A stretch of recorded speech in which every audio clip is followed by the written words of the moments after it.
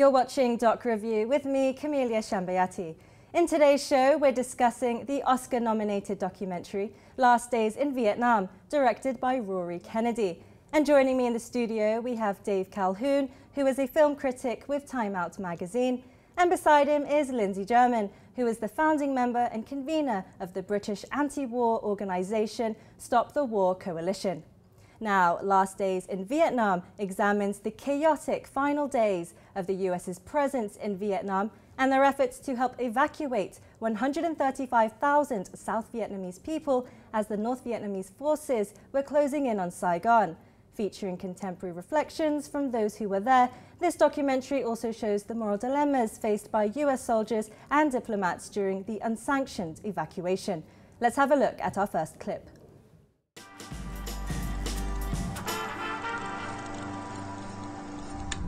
We today have concluded an agreement to end the war and bring peace with honor in Vietnam. We have adopted a plan for the complete withdrawal of all U.S. combat ground forces. We are finally bringing American men home.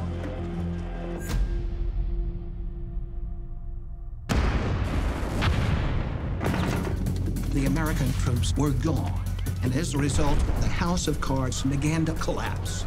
We were dealing with an ambassador who was just convinced that somehow there wouldn't have to be an evacuation and therefore there wouldn't have to be a concern about evacuating South Vietnamese. These people were dead men walking. Sometimes there's an issue not of legal and illegal, but right or wrong. I borrowed a truck and I drove them to the airbase. And I had told them, when you hear three thumps, that means hold the baby's mouths, don't breathe, don't talk, don't make any noise. I was going to get them out.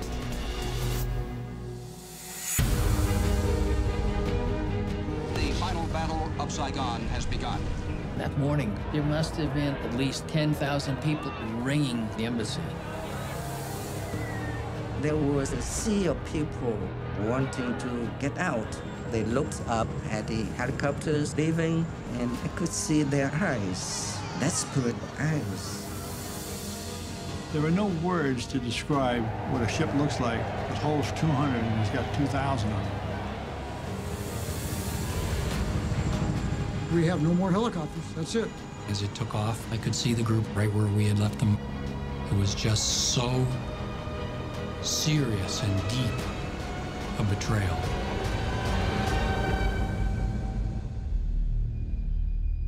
Who goes? And who gets left behind.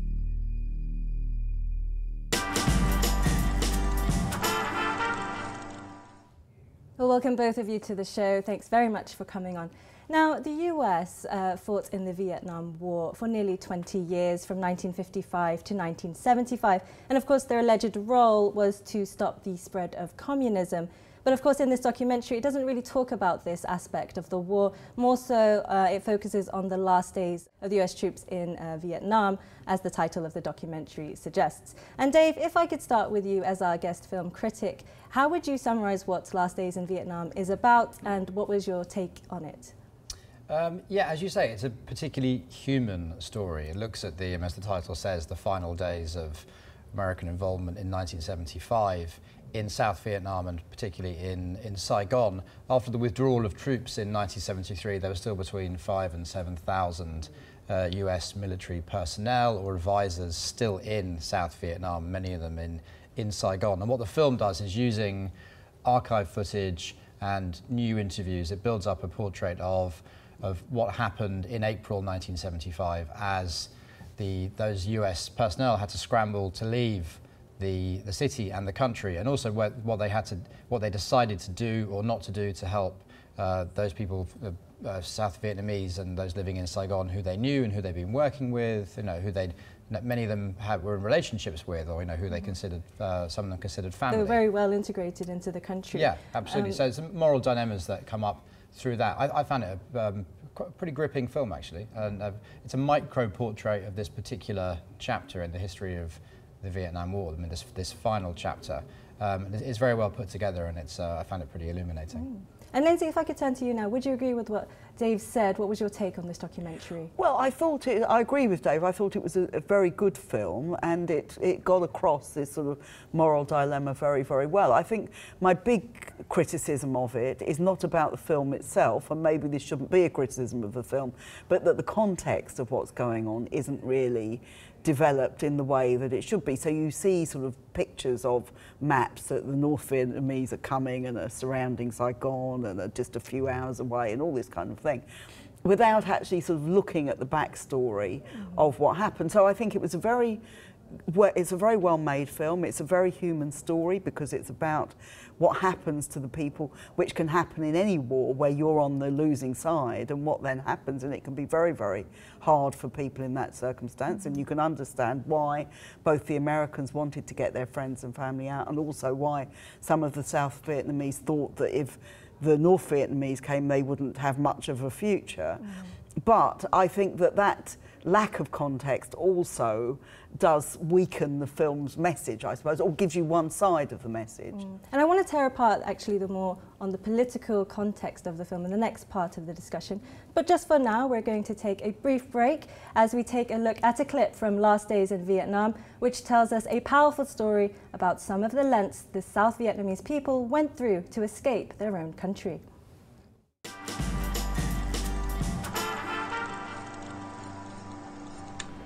Big Chinook showed up. There's no way he can land on Kirk without impacting the ship. He, he would have killed everybody on the helicopter plus my crew. It was way too big to land. We thought that the helicopter would just fly away. But as the ship was moving forward, probably four, five, six knots, something like that, the pilot communicated that he was running low on fuel. He opened up the port side of the helicopter and he hovered across the stern of the Kirk. Then all of a sudden, here comes a human. One by one, we jump out. I jumped out, my brother jumped out, my mom was holding my, my sister. Obviously, very scared.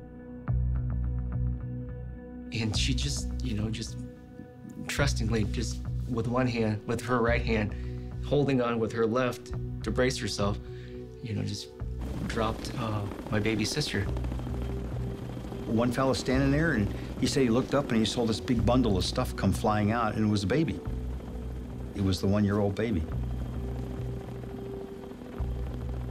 And then the mother jumped out, and he caught her too.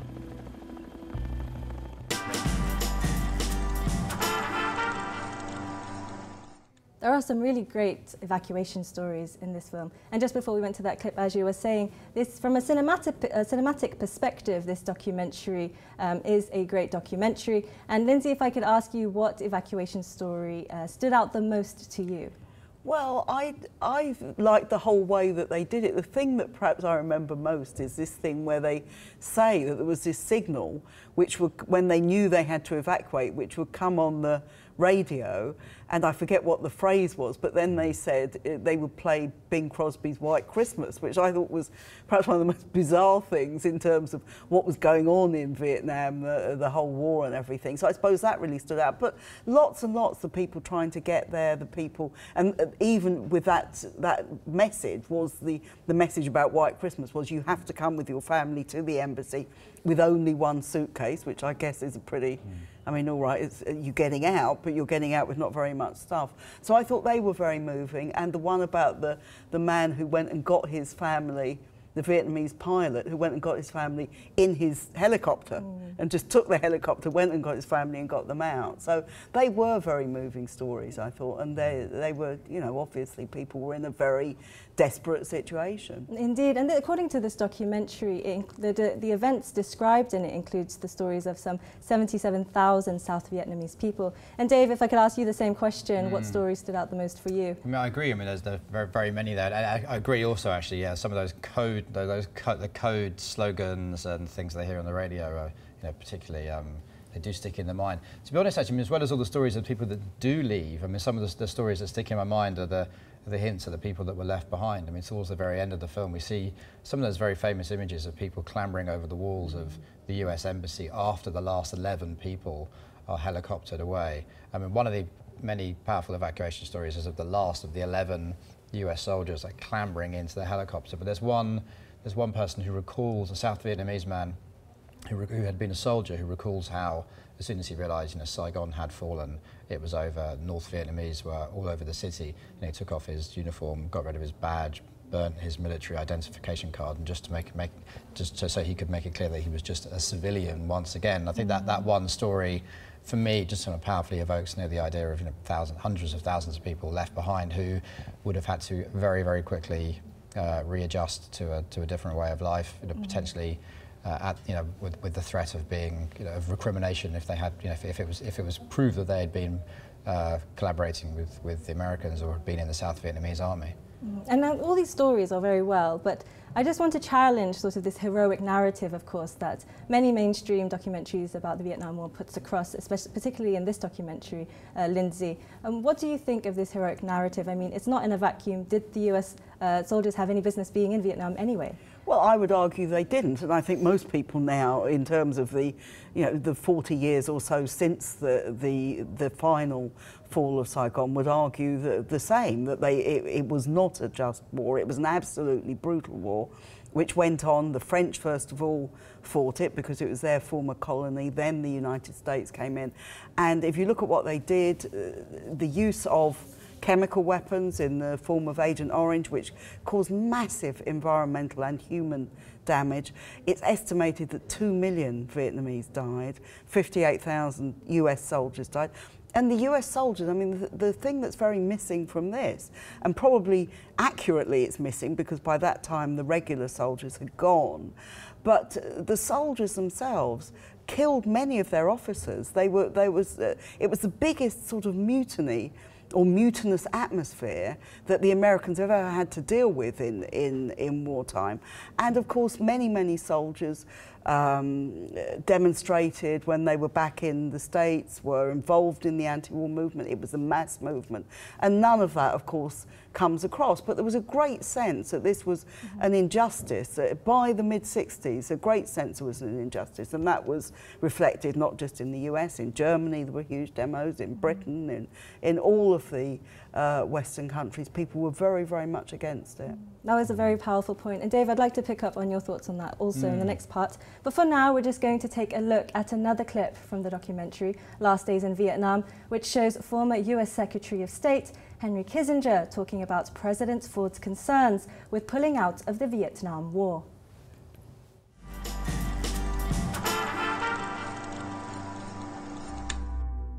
when President Ford went before the Congress, he had two major concerns. The first was to save as many people as we could. He cared er for the human beings involved. They were not just pawns that once they had lost their military power were abandoned. The second was the honor of America that we would not be seen at the final agony of South Vietnam as having stabbed it in the back.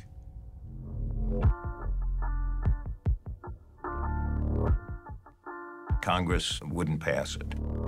They said no more, you know, no more troops, no more money, no more aid to the Vietnamese.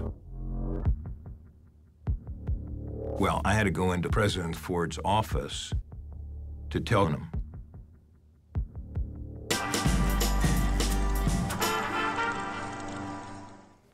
Now, Dave, I just wanted to pick up on a point that Lindsey made earlier on before we went to the clip. Um, would you have liked to have seen more political context to this documentary, perhaps to expose more of the crimes in the area? Uh, I, I, I, would have. I do think it. I mean, I think it's very good on the micro. It's very good on those those final days, those final weeks in, in Saigon. It's it's not especially good on the wider well the wider context of the war, which as you said at the very beginning, and spanned over spanned two decades. Um, and it's not it's not particularly great on the the immediate political context, which is hinted at by that clip either. I mean, it reduces the the background politics to to a, a fairly simple Ford was willing to provide more aid to the South Vietnamese. Congress said no. Um, it does. You mentioned heroism before. I mean, it does. It does. It does point the, the finger of heroism towards Gerald Ford as well there. Mm. Um, and obviously Kissinger was uh, was in his government at the time, so obviously has you know, a reason to be pushing that narrative as well. But it's, I don't, it's, it's not, it's the, but at the same time, the film doesn't set out to offer that, that context. I think I'd have been a bit more dismayed if it offered the, if it offered the context uh, in, a, in, a, in, a, in a more simplistic way or in a more narrow-minded or, or biased way. And I think it prefers to avoid it and prefers just to put you into the melee of those final, those final days, and it does mm -hmm. that well. Mm -hmm. And Lindsey, uh, following on from that clip, um, they showed Henry Kissinger, who was in this documentary, and some would accuse him of being a war criminal. Um, how do you think uh, he was portrayed in this documentary?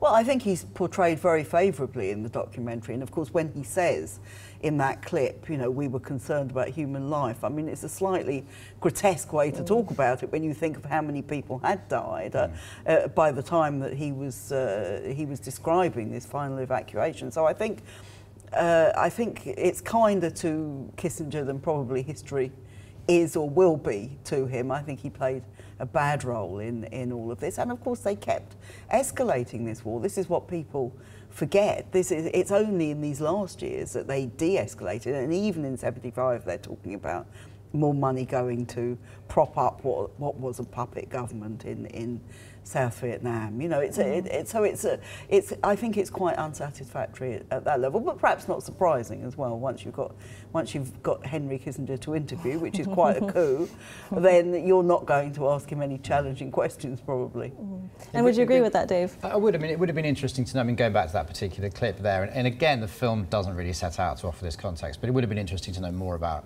uh, the reason, what, why Congress was so opposed to uh, to, to, offering more aid at that time. Mm -hmm. I mean, presumably partly because the in the Vietnam War for the American people had become a massive millstone around the American people's mm. neck, and it was just something that they really wished to put behind them, you know, for many many valid reasons. Um, but the, the, film the film doesn't doesn't doesn't explore that. It, it, mm. it, leaves those questions begging if you if you don't bring a lot of knowledge to the film. Actually, Lindsey, I think that relates to you. I mean, as someone who was inspired by uh, to, into uh, political activism by the Vietnam War, what was the anti-war movement like at that time, and do you think this was affecting Congress's decision? Well, no, by, funnily enough, by the time this was happening, the anti-war movement was much weaker than it had been in the late 60s and early 70s, partly because most of the troops had gone. People could see that it was coming to an end. But there was very, very big sentiment against the war. And there was a very, and also the point that Dave makes is right, I think, about the politically people were, it was an absolute millstone around their necks. But also by the mid 70s, the world economy had turned towards very serious recession after decades of boom. Mm -hmm. So of course the Americans were also thinking, that we can't really afford this. And it's usually accepted that the Vietnam War was a big driver of inflation in the 60s and early 70s, which led to some of this economic crisis. So I think they just thought, you know, let's get out of here. We've mm as the Americans quite often do. We've mm. seen this before and since. Mm. And it's a very interesting discussion so far, but we'll just have to pause for now as we take a look at our final clip from the documentary we're discussing, Last Days in Vietnam, which shows some reflections on the outcome of the war.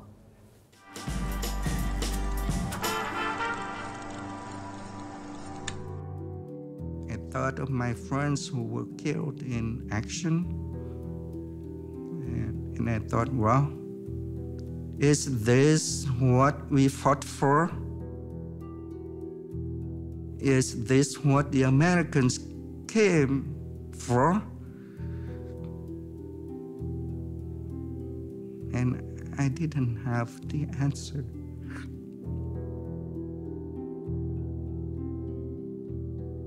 I have wrestled with this ever since. I realized that I had become the quintessential American in Vietnam. I had all these causes, all these big things I was doing. I was trying to get the truth back to Washington. I was talking to agents, trying to persuade the ambassador. And I forgot that what was at stake were human lives.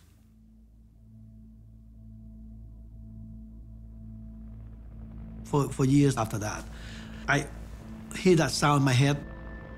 That sound like. In the middle of the night, I just, just jump up. I thought the helicopter come pick me up. I called it Dream in the Wind.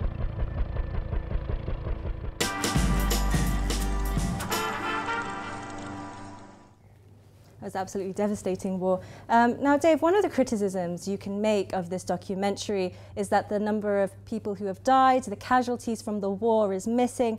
I mean, it's not until 1995 did Vietnam release its official estimate of the death toll, as many as 2 million civilians on both sides and some 1.1 million North Vietnamese and uh, Viet Cong fighters. Uh, whereas the US military actually say that between 200,000 and 250,000 South Vietnamese soldiers died, so it's a fraction compared to the Vietnamese statistics.